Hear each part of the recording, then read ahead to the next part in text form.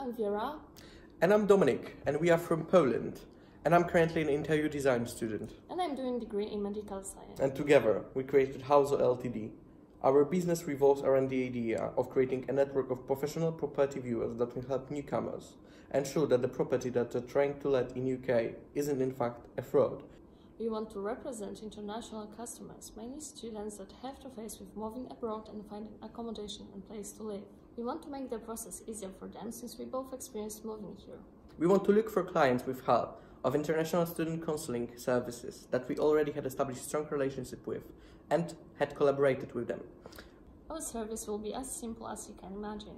Our viewer will go to the location, will make a site interview and will record a video of property viewing. If we win the big pitch money, we'll invest in social media marketing. And proper web design with shop functionality to create unremarkable service experience.